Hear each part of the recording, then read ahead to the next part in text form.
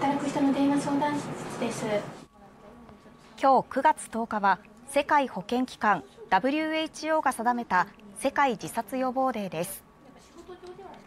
働く人の社会や仕事での悩みを産業カウンセラーが電話や SNS で聞く無料相談会が全国で行われています。過去には同僚や上司からあなたの匂いで気分が悪くなると言われ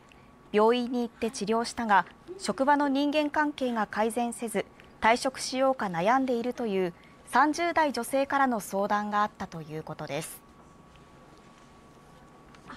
産業カウンセラーは心を聞くプロですのであの一人で抱え込まずにあの皆さんあのぜひあのご相談いただければと思います。働く人の電話相談室と SNS 相談室はともに今夜10時まで受け付けています。